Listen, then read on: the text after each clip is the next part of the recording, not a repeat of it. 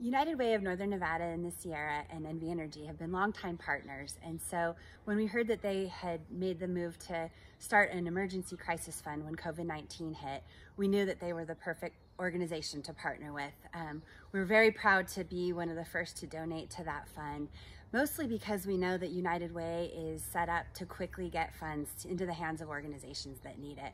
We know that this crisis is, is causing food insecurity, that um, people are struggling with rent um, and mortgages, and those are the organizations that United Way is able to help get funds to quickly. So we're really proud of our long-term partnership with the United Way, um, and we're, we're really um, excited to see how these funds are going to help. Um, we know that there's a lot of work to do, and we're going to be with them, alongside them, and alongside those in our community throughout this entire time. And so, um, thank you, United Way, for doing what you're doing.